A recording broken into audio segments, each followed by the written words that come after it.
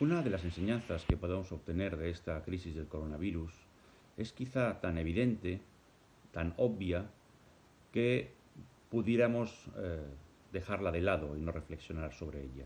Eso sería un grave error. Hemos aprendido que las catástrofes sanitarias mundiales, en esta sociedad globalizada e hiperconectada, no son algo imposible, ni mucho menos. No son algo propio de una película de terror. Son algo muy real en el presente, ahora mismo, que además no sabemos cómo va a terminar, y también en el futuro, porque este tipo de pandemias muy probablemente se van a repetir en los próximos años con las mismas características o quizá con otras muy diferentes. Las películas de epidemias, ahora lo sabemos, no son solamente ficción e incluso se pueden llegar a quedar. La sanidad española, que tiene fama de calidad, bien merecida, sin embargo ha crujido hasta sus cimientos por el coronavirus. Se le ha sometido a una prueba de estrés que podemos calificar de brutal. Lo que se ha vivido en los hospitales lo sabe solamente el personal sanitario, que ha pagado incluso con su vida y con su salud eh, todo este tremendo drama.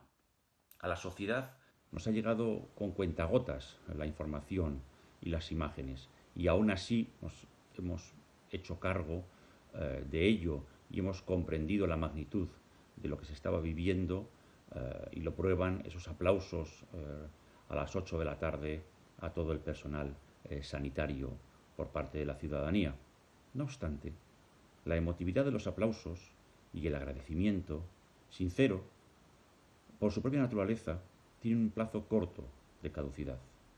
En poco tiempo, desgraciadamente, pero así es la naturaleza humana, estaremos pensando en otra cosa. No debemos permitirlo. Es el momento de reflexionar y de aprender.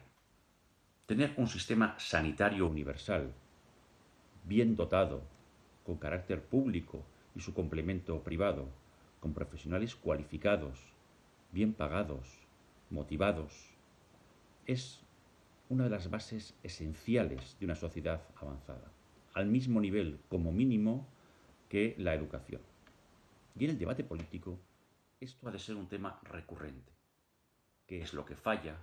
¿Qué es lo que falta? ¿Qué es lo que hay que mejorar? Someterlo a una verificación de eficacia, etc. Pocas cosas, si es que hay alguna, son más importantes para la calidad de vida individual de cada ciudadano y para la calidad de vida de una sociedad en su conjunto como la sanidad.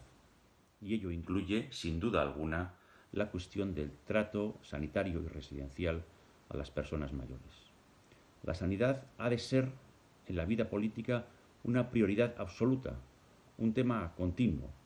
En estos momentos parece que el PP y el PSOE tienen una predisposición muy favorable a realizar pactos sobre el tema. Bienvenida sea esa disposición, pero eh, se trata de eh, incluso algo más, de llegar al convencimiento de que la sanidad debe estar fuera de la lucha partidista y debe buscarse la máxima eficacia por encima de otras consideraciones como pueden ser eh, competenciales o de cualquier otro tipo. Se trata de dar el mejor servicio a la ciudadanía. España, además, desgraciadamente, tiene pocos símbolos vertebradores. Los más sencillos, como la bandera, eh, son discutidos. Hasta el mismo nombre de España hay eh, personas o partidos que se resisten a, pronunciarlo. Una sanidad poderosa, una sanidad de primerísimo nivel, puede ser un eh, motivo de orgullo nacional y, por tanto, además de un gran beneficio individual y colectivo, puede ser también un elemento vertebrador de nuestra identidad. Lo cierto es que ahora de los aplausos hemos pasado a la normalidad.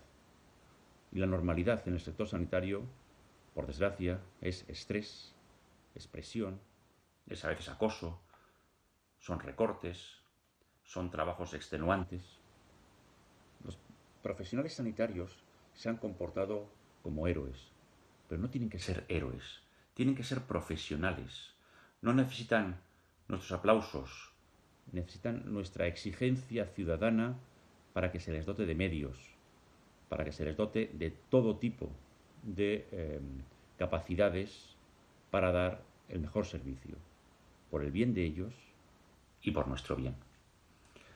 Y termino, discúlpenme, con una autocita, con un tuit que publiqué el día 24 de marzo, cuando comenzaba lo más crudo del crudo invierno de esta tremenda crisis del coronavirus. En ese día dije lo siguiente en la red Twitter.